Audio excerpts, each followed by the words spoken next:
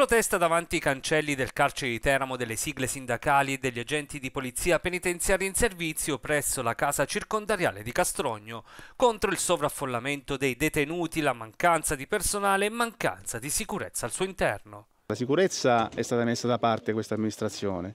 Noi oggi abbiamo 140 unità in forza sui 218 previsti, eh, con una capienza di detenuti che sfiora i 400 detenuti quindi eh, abbiamo oltre il 150% in più di sovraffollamento, noi non riusciamo più a garantire minimi, eh, la sicurezza minima, le ferie eh, che il personale ehm, sta svolgendo perché sta messo in ginocchio l'intera organizzazione del lavoro, perché chi resta in servizio deve fare doppi, tripli turni di servizio. Una situazione di criticità nel carcere di Teramo definita annosa e in continuo peggioramento. Ormai sono anni che puntualmente ci ritroviamo a protestare questa, contro queste carenze di personale che ormai è diventata cronica, però abbiamo questo problema che eh, rispetto al resto della nazione il centro Italia anche un po' il sud, però il centro Italia eh, ne subisce sempre eh, con numeri maggiori.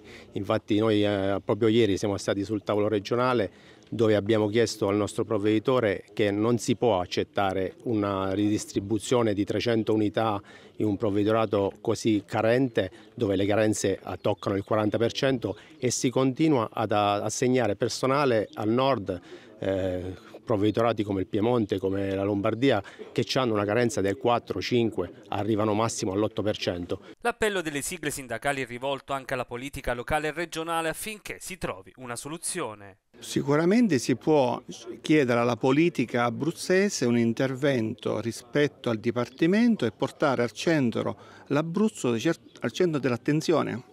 Noi paghiamo a livello regionale una carenza di personale non, che non si riscontra in altre regioni, soprattutto regioni del nord Italia. Quindi questo sicuramente è un passaggio da affrontare con la politica regionale e con le altre istituzioni.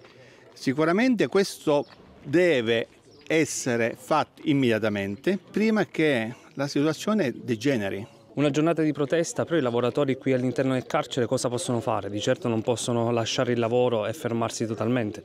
No, innanzitutto va tutta la nostra solidarietà al personale che lavora in questo istituto, che vive una condizione gravissima di sovraffollamento e di carenza di personale, un mix esplosivo che rischia di compromettere l'ordine e la sicurezza di questo istituto. Le condizioni di lavoro, come dicevo, sono eh, drammatiche, personale che è costretto a coprire più posti di servizio, a fare lavoro straordinario, a non andare in ferie, per cui oggi siamo qui per ribadire la nostra posizione e chiedere all'amministrazione un intervento urgente per risolvere la questione che non è più tollerabile.